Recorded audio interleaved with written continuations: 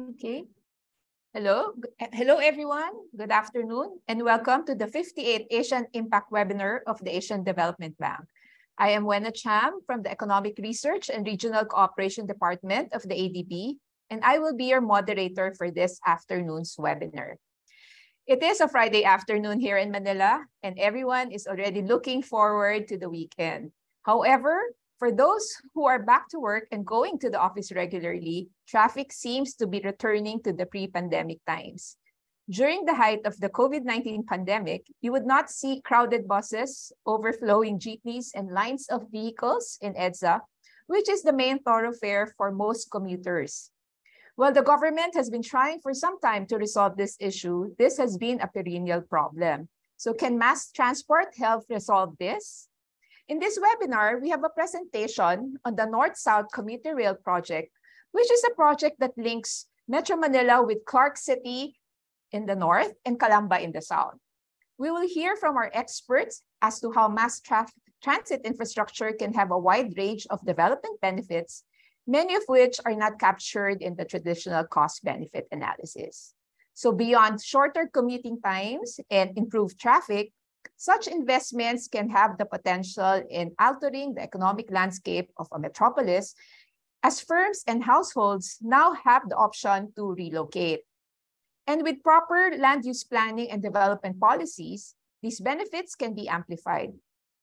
We will also hear from our distinguished panelists as to how the experience from the North-South Commuter Rail project can guide the design of policies tied to large-scale infrastructure projects on promoting regional economic development. So in terms of the format for this afternoon's webinar, we will first have a 20-minute presentation on the economic impacts of urban transit infrastructure upgrading case of the North-South Commuter Rail in the Philippines.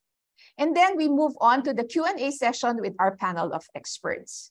So, and now to present the findings of the report, we have the privilege of having our presenters namely Mr. Yi Jiang, who is a principal economist at the Economic Research and Regional Cooperation Department of the ADB.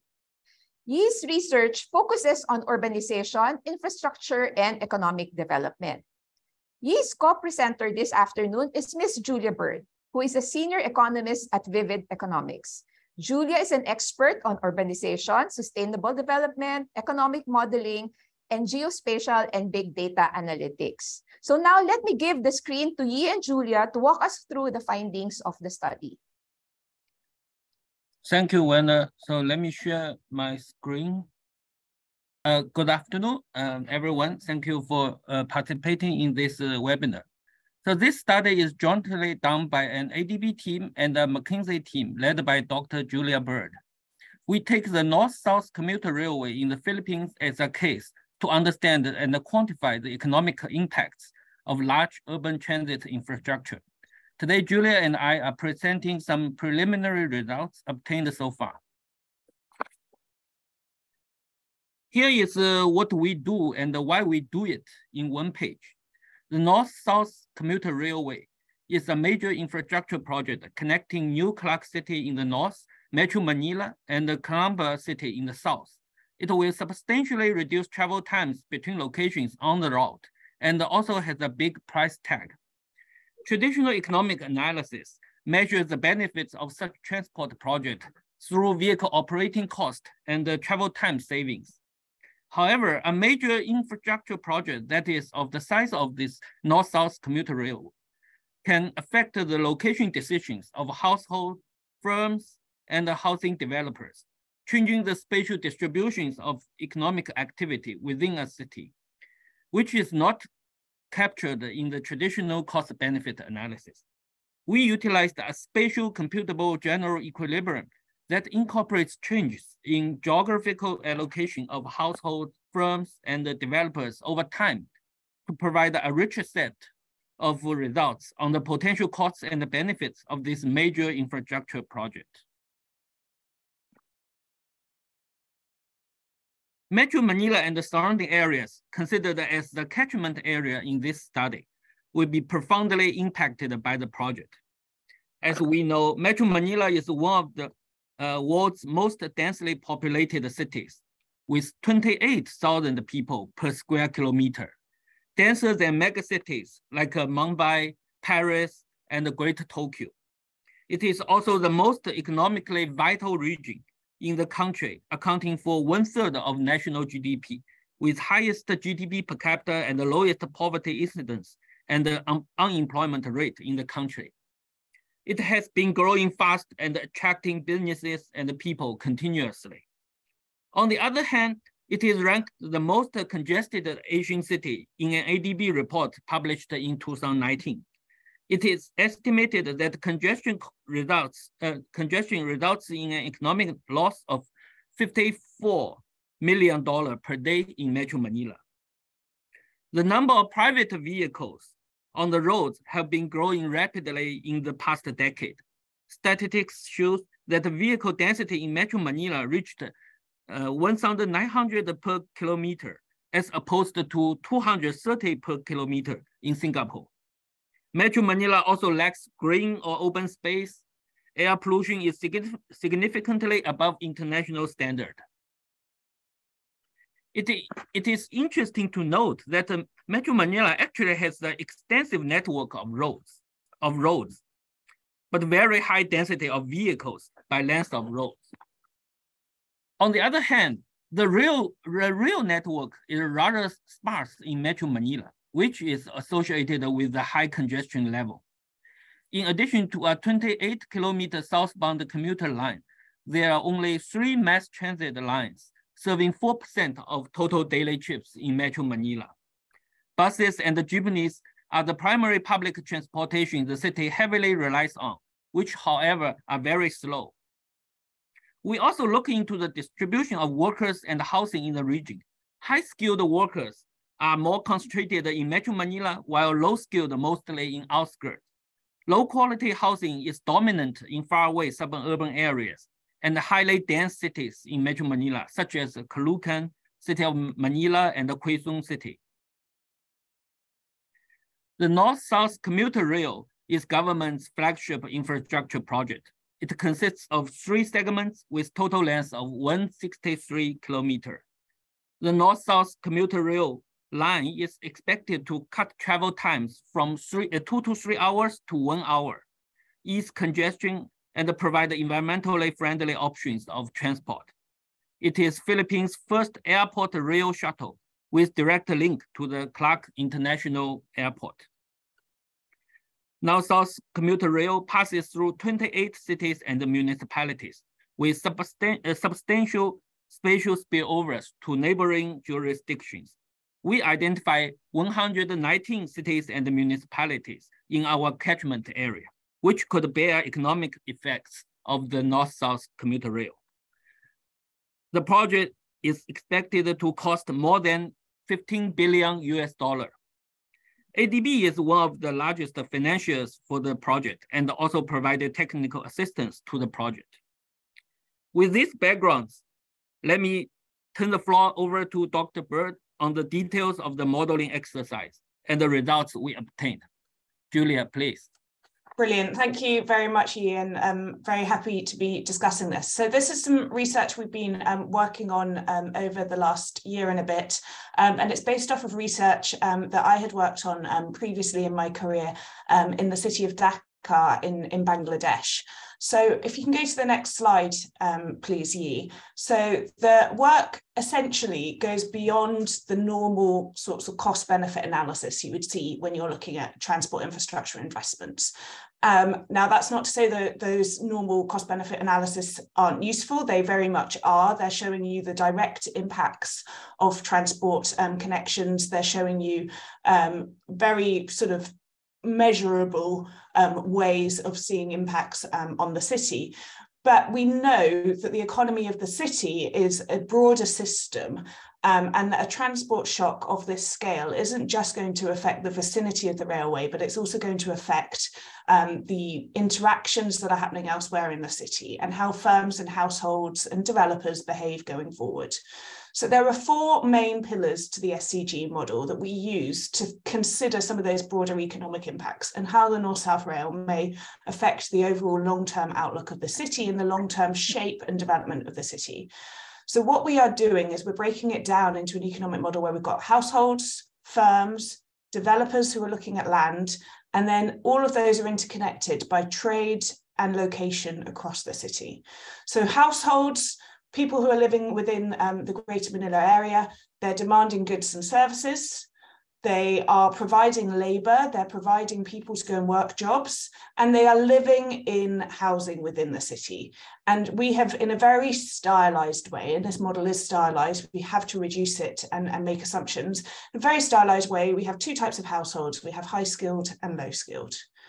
Then within the city as well, we have firms. And in a very stylized way, again, we've got three different types of firm, which kind of represent um, at a high level manufacturing, business services, and local services. And they are split. You can imagine a manufacturing esque firm requires a lot of land um, to do its production relative to the others um, and it requires quite a lot of primary materials. You've got a local services firms. Now they need to be located essentially very near the consumers. This is things like your local hairdresser, your local retail centre. You're not prepared to travel an hour across the city to go um, and, and buy um, um, uh, some chicken for dinner. You, you want to go quite locally. Um, and then we've got business services firms. Now they tend to, to cluster a bit more here. We're talking about our banking hubs, our legal hubs. These are the types of firms that you might go to once in, in, in every few months, or indeed they serve other firms quite a lot. So firms demand goods and services and they supply goods and services, but they also need some land and they need um, labour inputs. Then we've got developers, um, and now developers are producing housing essentially within the city um, and commercial floor space. So they're taking land and they are building upwards, they're building out, and they're providing different elements. Now we've got a distinction in terms of housing. It's listed here as formal, informal, um, or high quality, low quality. This is a broad brush distinction. Essentially what you can imagine is by high quality or formal, we're thinking about sort of modern, um, multi-story, quite dense apartment building and, and high rise by the more sort of low quality, we're talking about more traditional building approaches, um, more spread out, higher land inputs um, for um, a given floor space produced. And then finally, we've got, as, as you mentioned, we've got all of these different locations across the city. They trade with each other. So you've got a transport connection between all the pairs of locations within the city, be that by rail, be that by road and you can have goods, services, and most importantly, labour, people moving around the city according to those transport locations. The amount of transport that you do in a given day affects your utility, affects your welfare as a household, um, and then it also affects the price of goods in different locations. And in the long run, in equilibrium, firms and households can choose where they're based. Now, if you can go next slide, please, Yi, I will just talk through very quickly how do we solve this and, and what this looks like. So I've just mentioned the, the core components. Um, each of these create markets. We've got land markets, housing markets, product markets, and factor markets. So we, we've essentially got the labour market. Each of the locations within the city, we've got the demand, we've got the supply coming out of the model and the structured assumptions that we put in it at equilibrium, they have to join up and we have to get wages, rents, um, prices for housing um, and prices for goods and services. And that is where we land when, when we're at equilibrium. Next slide, please. So um, just to give you a very brief summary of how we've um, applied this within the Greater Manila region. So we split it into 119 geographical units. Um, we've got the workers um, traveling or people traveling across the city to get between their place of residence and their place of work, and their utility falls as transport costs increase um, between wherever they're living and where they're working. So workers choose that pair of location where they live and where they work. We've simultaneously got the goods and services that must be delivered out around the city um, and the combination of intermediate linkages between firms, firms use other goods and services in their production, and then again, also the costs of um, sort of bringing in labour from elsewhere in the city because that's affecting utility. You've got to compensate that with, with higher wages. Um, so all of that creates an initial force of agglomeration, which, which happens within the model. Next slide, please. So I do just want to sort of put my hand up and say there are some caveats to this model. Um, I think the numbers that come out of it are really illuminating about what might be going on and help us think about the trade-offs and the mechanisms, but they are not pure predictions about the future. Um, this is a model which really looks at the internal dynamics of the city with some underlying assumptions. What it doesn't do is look at the big macroeconomic perspective of what's happening in the Philippines and how the country is changing over the time. So what we can tell you is given certain investments, how might that shape the spatial distribution of growth within the city? How might that make it more likely that Clark City is, is a real successful hub versus um, the traditional old centre of Manila? Um, we can talk through the trade-offs and relationships there. What we can't tell you is whether Manila is going to be the new uh, software hub of, of the broader region and is going to attract loads of international firms. We can't talk about those big sort of macroeconomic questions. So we have to make some level sort of assumptions, and then we're looking at the internal dynamics of the city there are also a lot of other things underway at the same time. So we've tried to pull out some of those core things and look at how they impact it. But obviously there are other things going on as well. And ultimately um, the, the success of the city is going to depend on, on all that combination. But what it is about is understanding the core relationships and the mechanisms at play.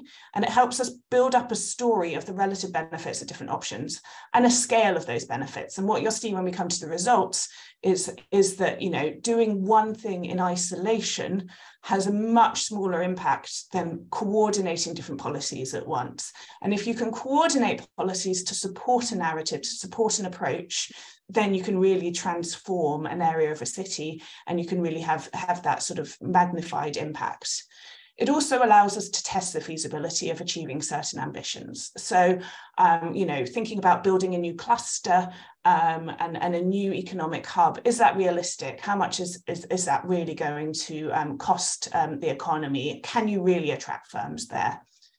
So if you could go through to the next slide, please. I'm going to talk through, first of all, what um, sort of scenarios we've looked at, and then I'm going to give you a, a sort of brief summary of some different results um, to draw out some of what I think are some of the interesting um, elements that are coming out of this. So what we have done is we've calibrated this model um, on sort of current day Manila or it's it, recent years Manila. We've had to sort of gather data from, from different sources. Um, and we've got the model in equilibrium and we said, okay, this is what the city looks like today. And then we say, okay, well, let's project forward. The North-South Rail is going to take a while to implement. And then of course its impacts on housing, firm location, etc., will take a while to play out. So we project forward to 2040 by assuming population growth and plugging that into the model.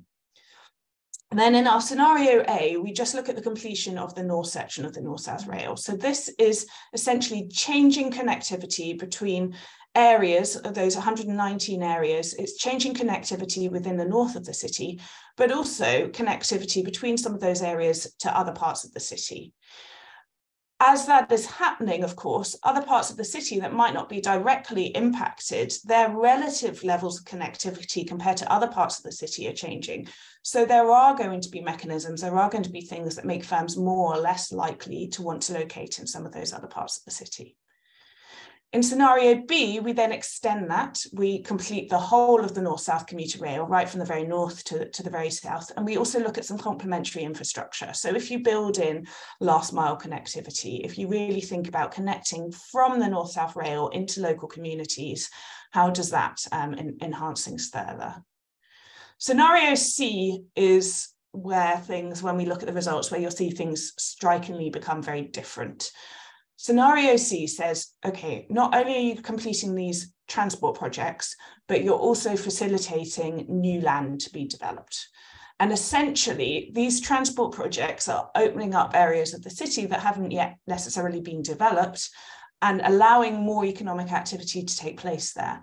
But one thing that really changes the magnitude and the size of, the size of the results is looking at land that has yet to be developed and saying, what happens if the development rules um, there um, enable development?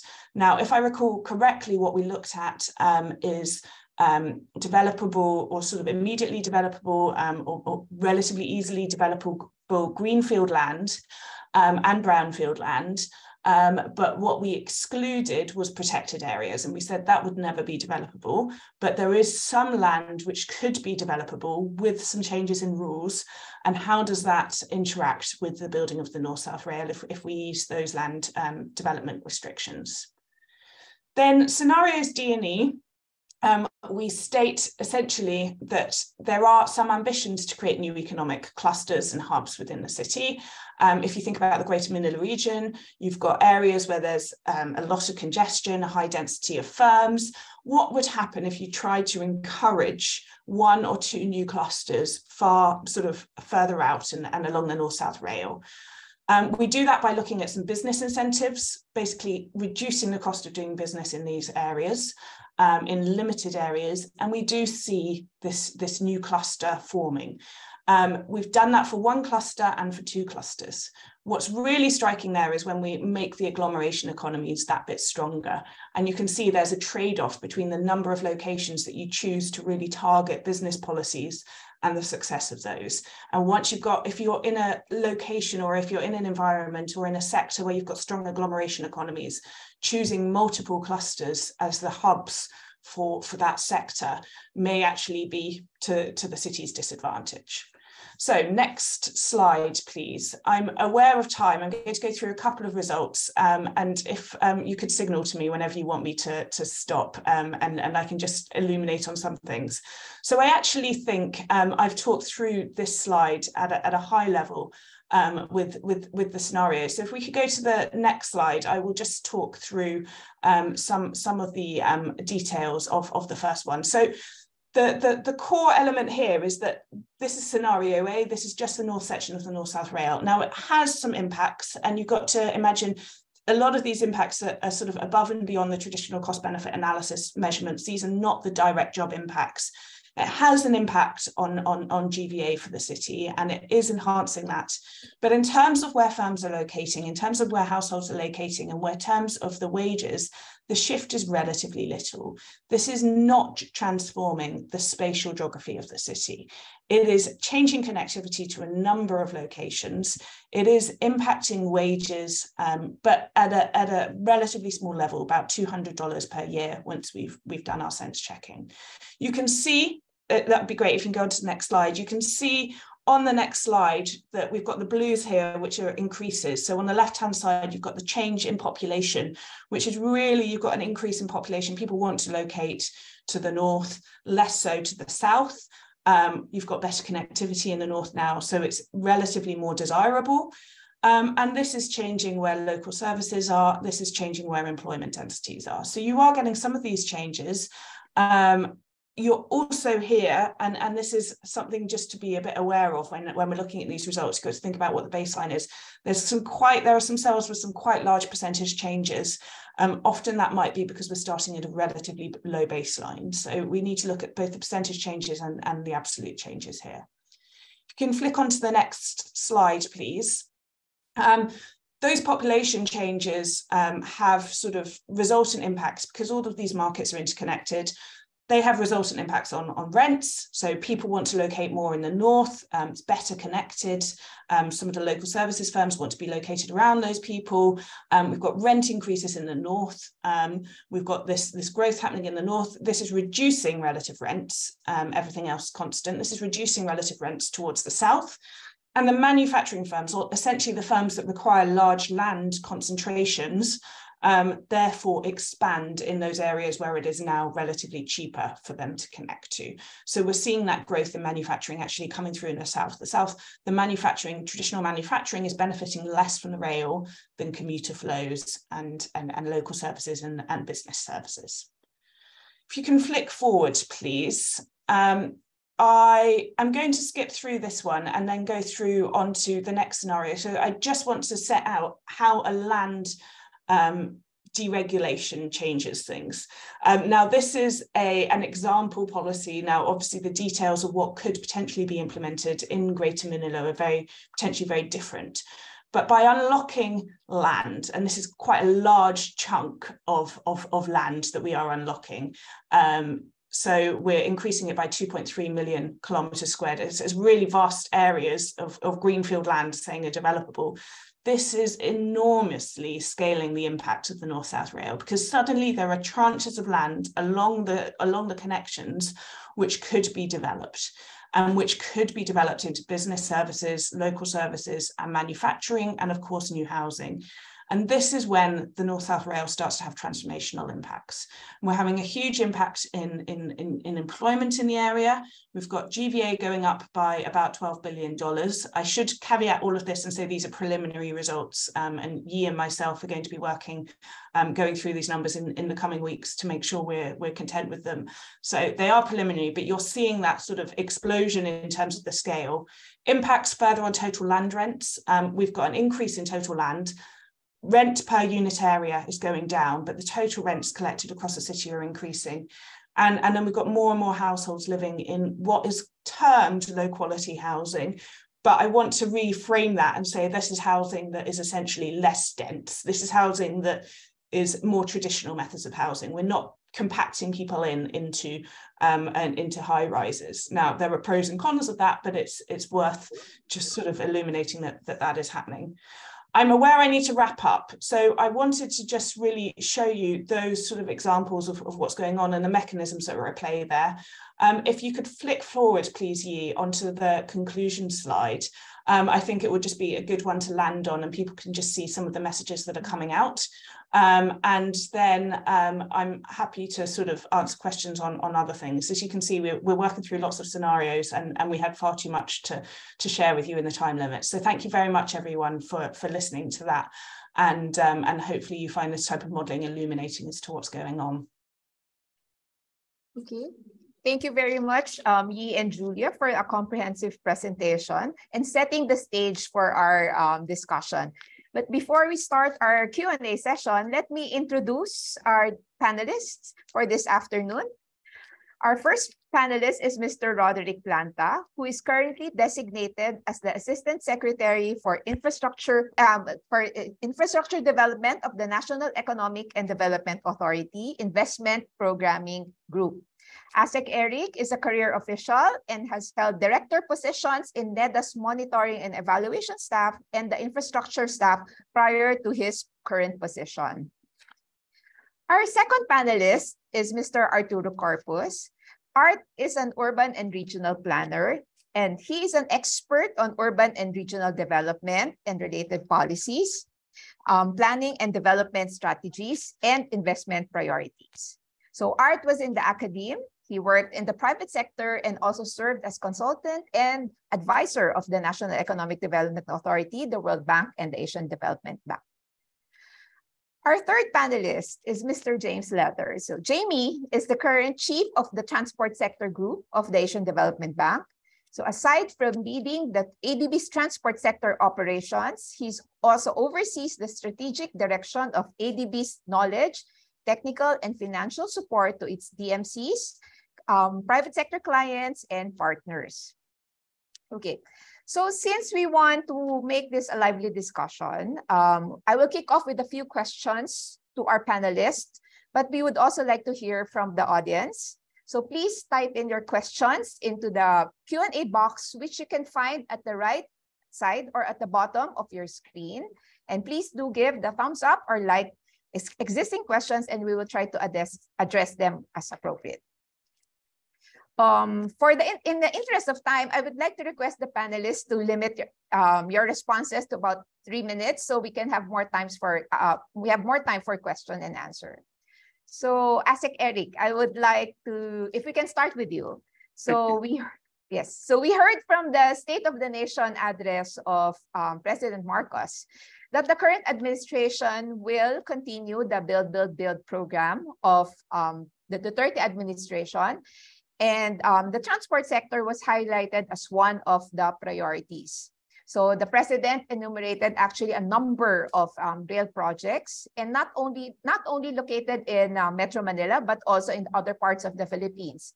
So can you share with us what has held back the development of the rail subsector, even, even if, like, for example, the Philippine National Railways, which was set up um, some 130 years ago?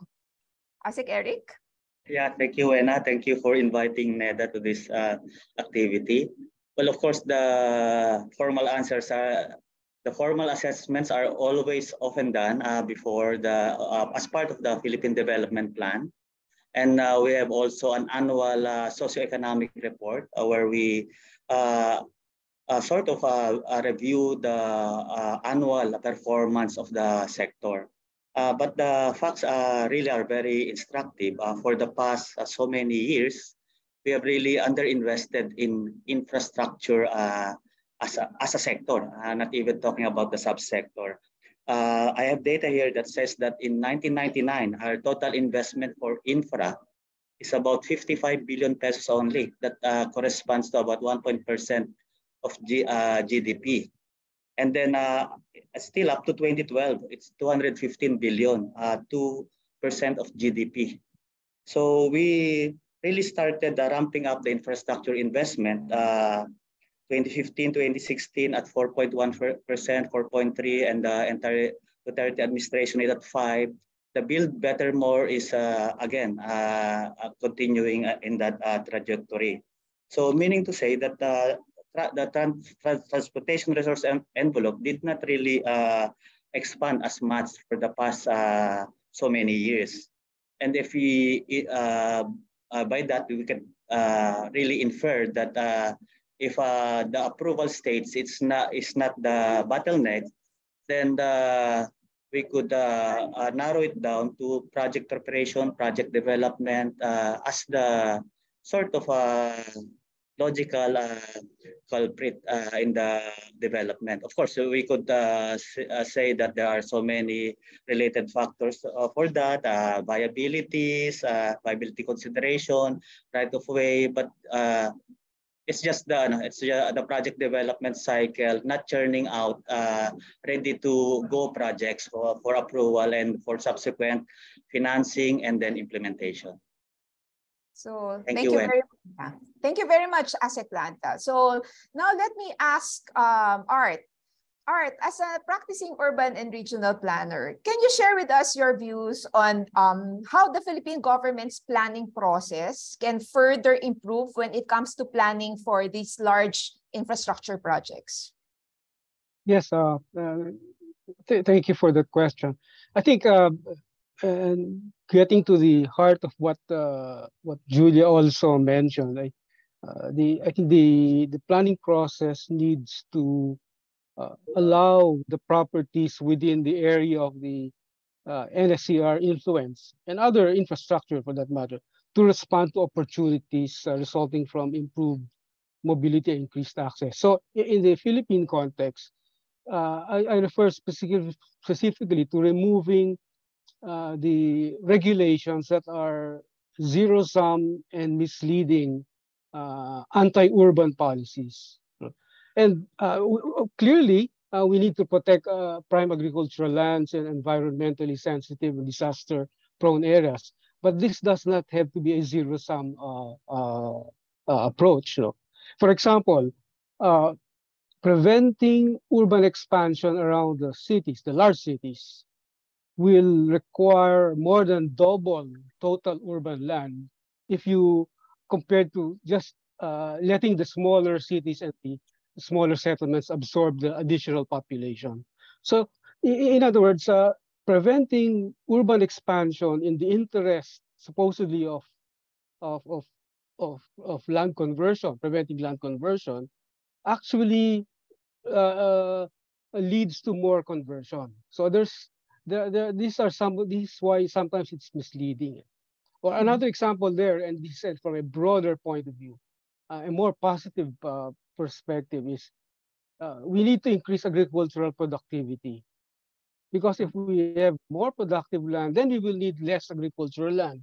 Globally, the total agricultural land has been declining since the 1990s because of increased productivity despite increasing global population. In the Philippines, our productivity has hardly grown over the past decades. And our agricultural land inventory is, is continues to grow uh, through the years. So there, there's uh, there's again synergy in the uh, between the urban and rural sectors or agri and urban uh, in, in this case. Maybe just to also uh, uh, emphasize that another area that that could be looked into is to again relates to what Julia said is to make sure that the infrastructure support network is in place this is especially relevant to the NSCR because the corridor of the NSCR is, a, is already a developed corridor. Uh, remember, this is the essentially the right of way of the PNR, which was built more than a century ago.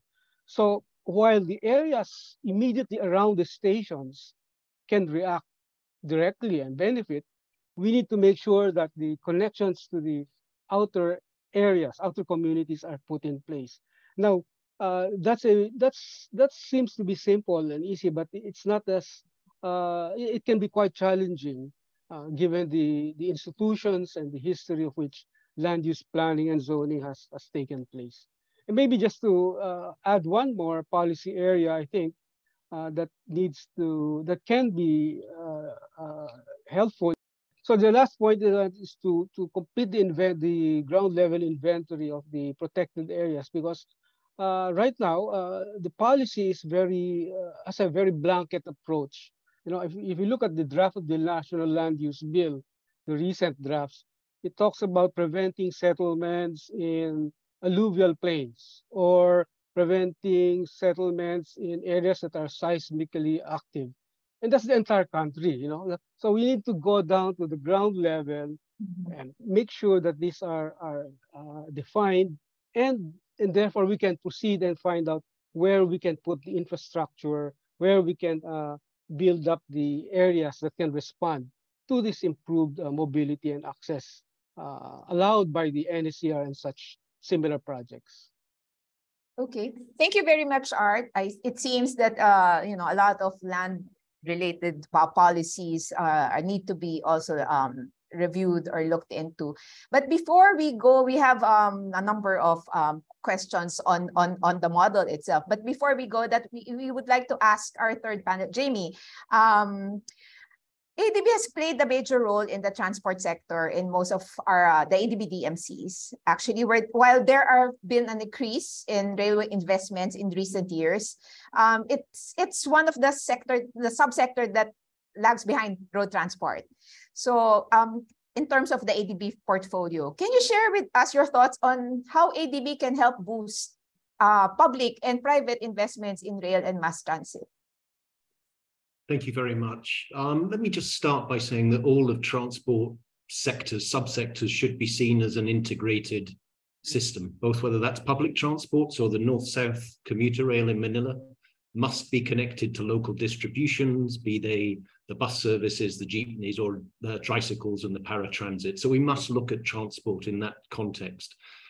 Yes, we have provided a lot of support to the roads subsector, and just to put it in again in context, the EU, which is perhaps invested the most in a multimodal integrated transport system, their passenger and their freight movements are still 74% and 76%. Sorry, I can't remember which one is freight and which one is, is passenger, but basically three quarters of both passenger and freight still travel by road. There are competitive advantage.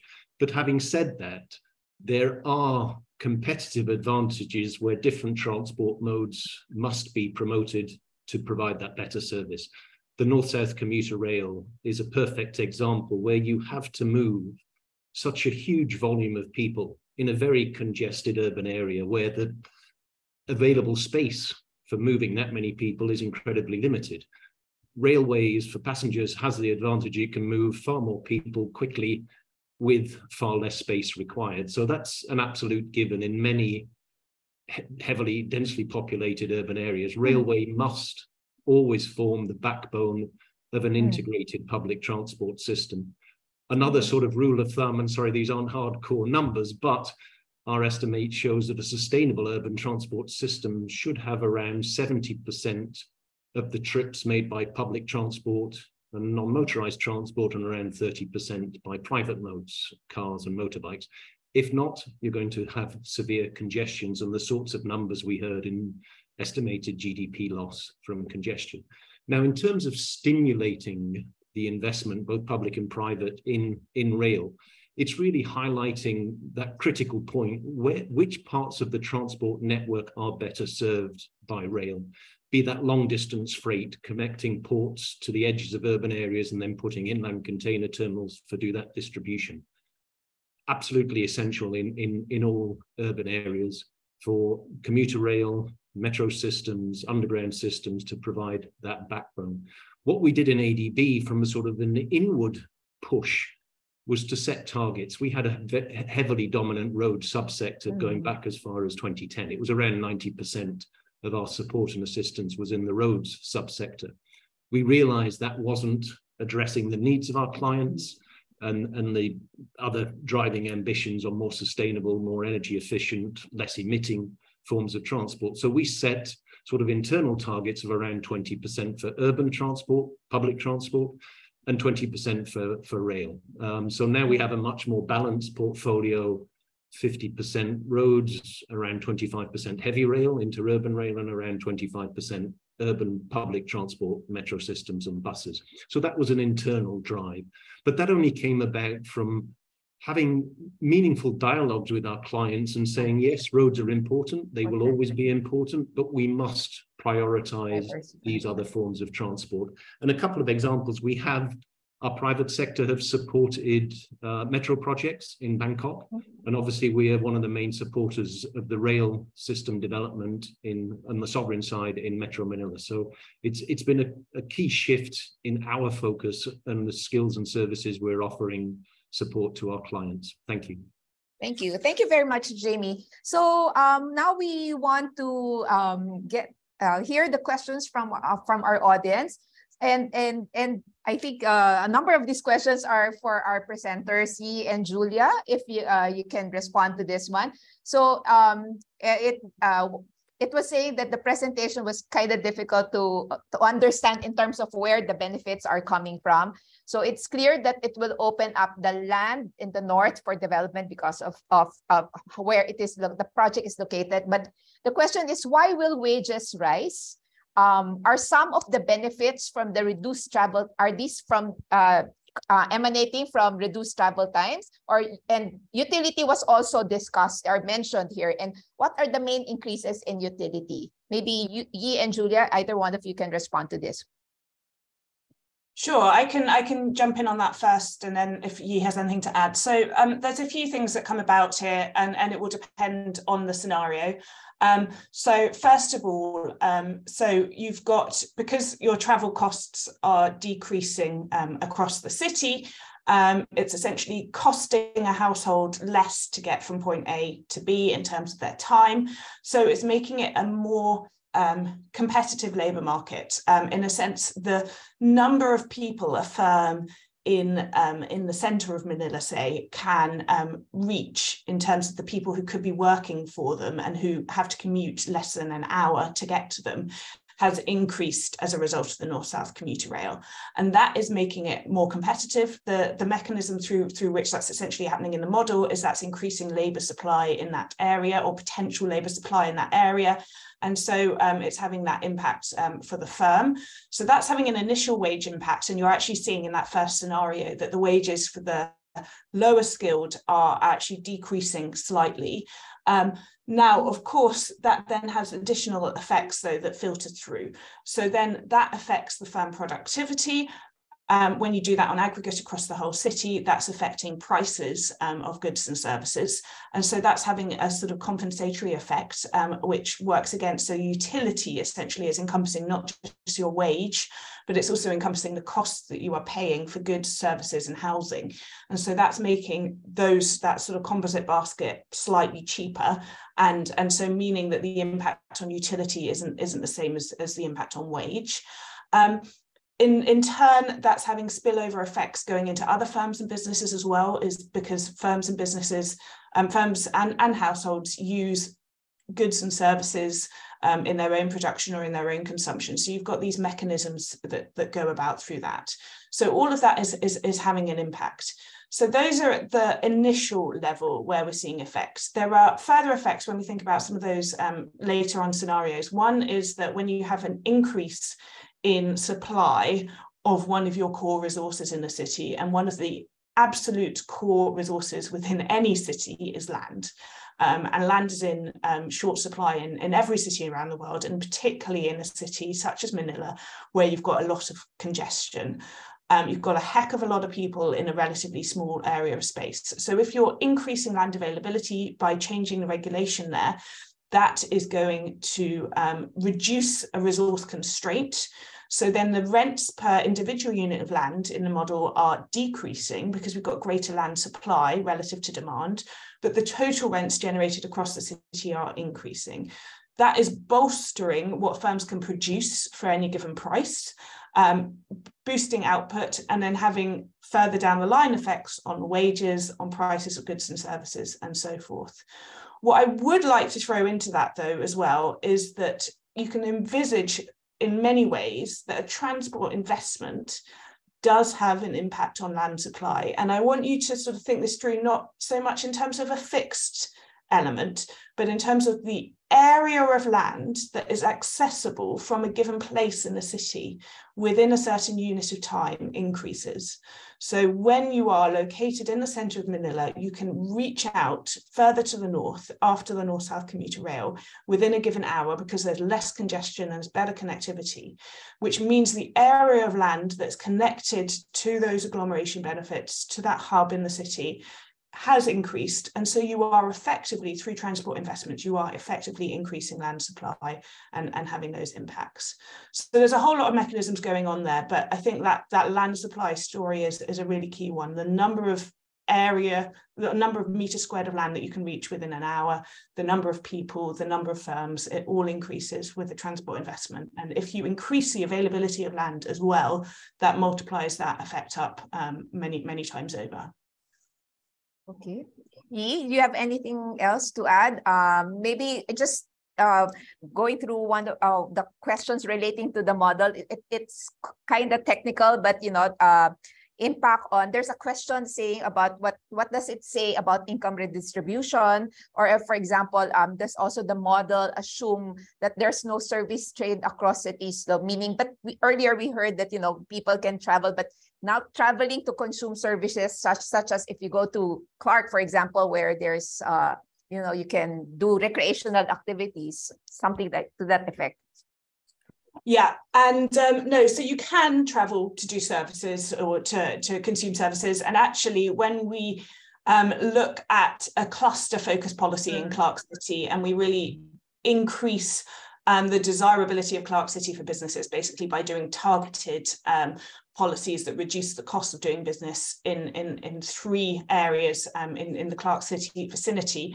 we actually see a, a boom in um, local and business services. That, that sort of service hub is, is, is what's going on there. Now, that's if we do across the board business cost reduction. Now, if the narrative that, that the um, area that Clark City wants to build out, if they actually want that to be a hub of um, something else of a different sector, then you've got to think further about, well, where do your business incentives target? But you do see that people do travel for services.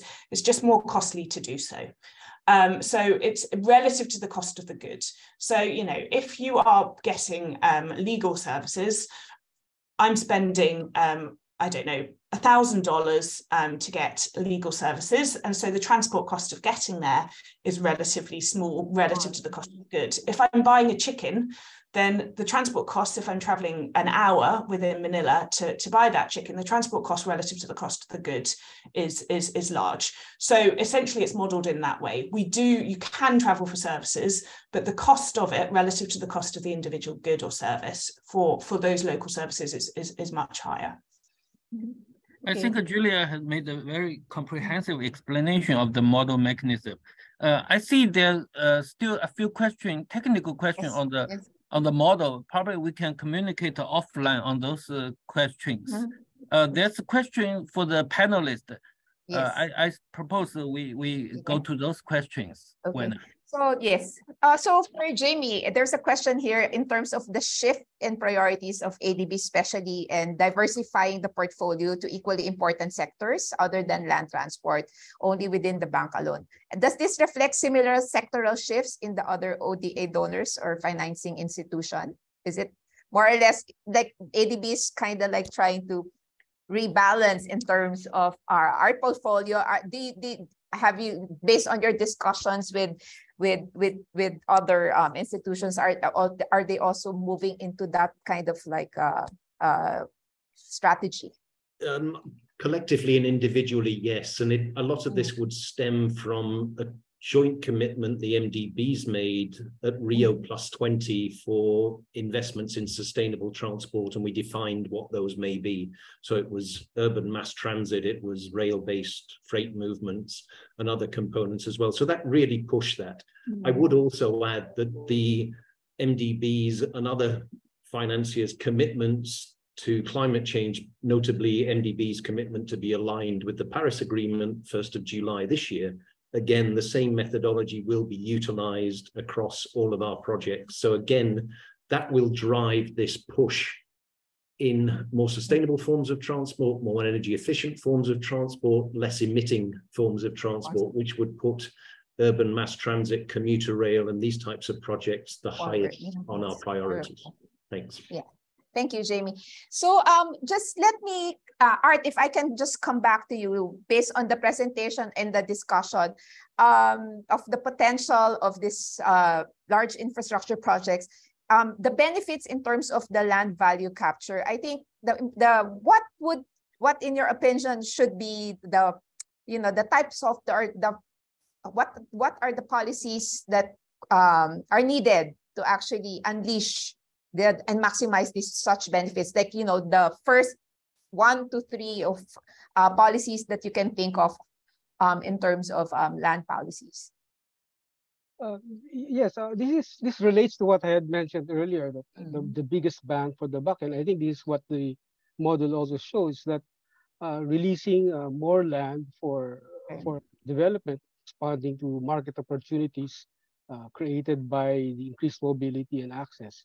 That would that in general, I think, is is a very uh, critical part of the uh, policy response.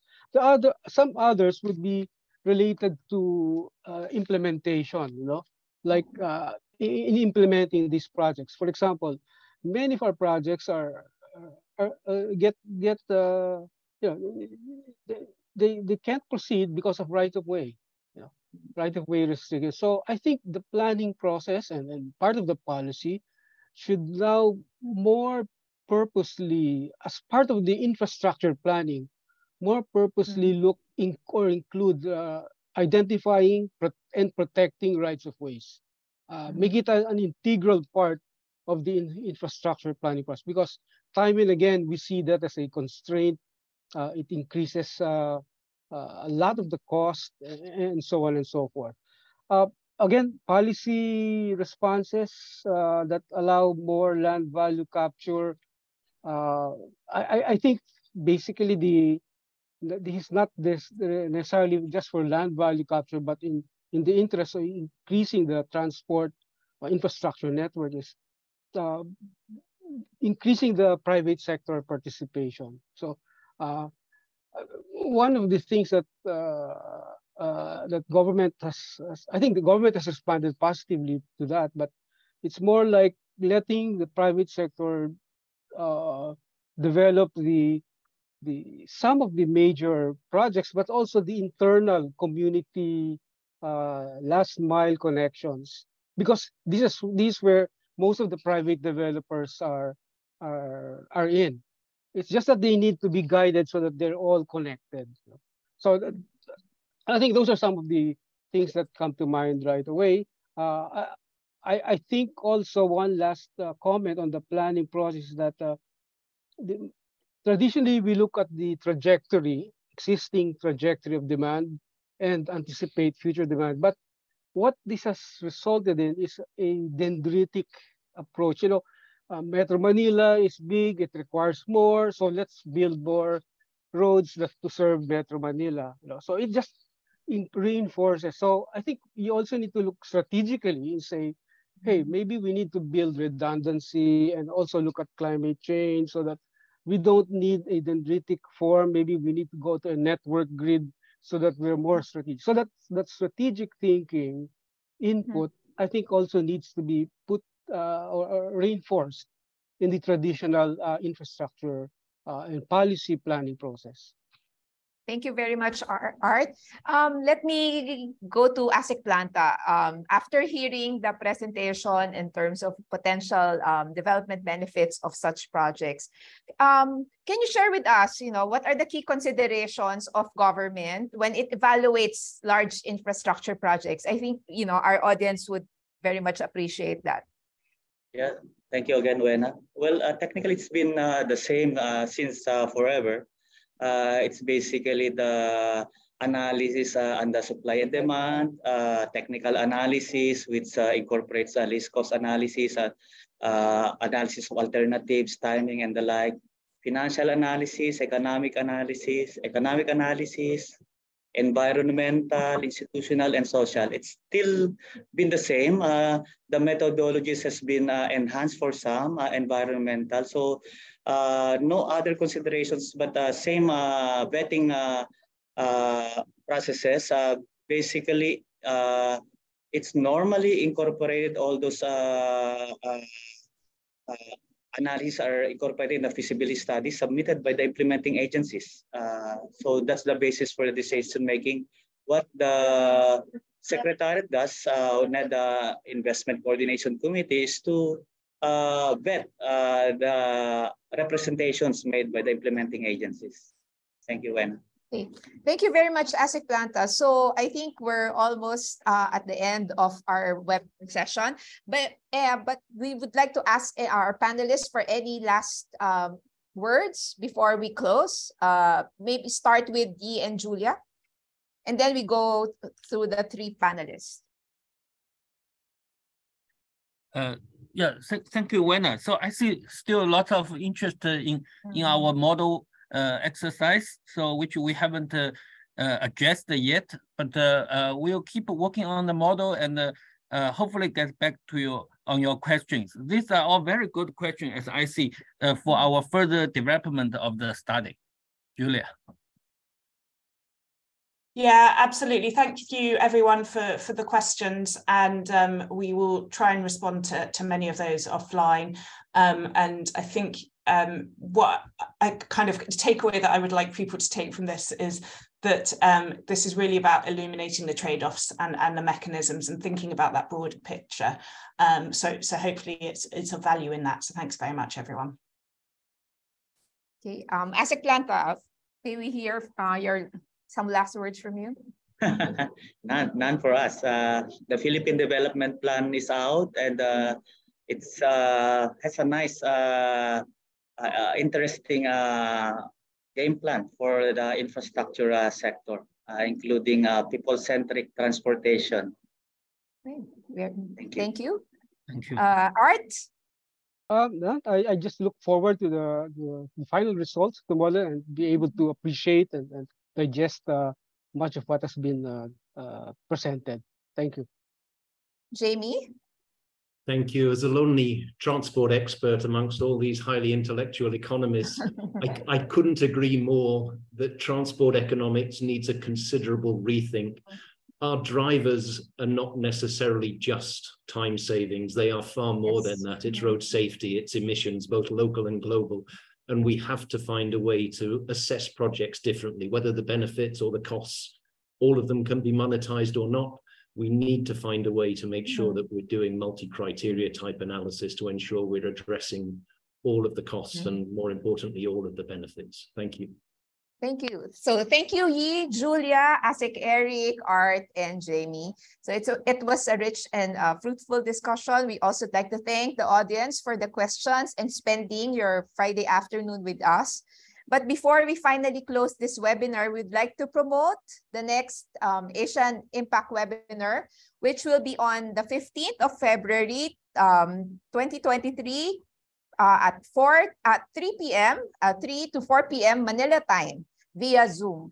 And um, the topic will be on trade, investment, and climate change in Asia and the Pacific.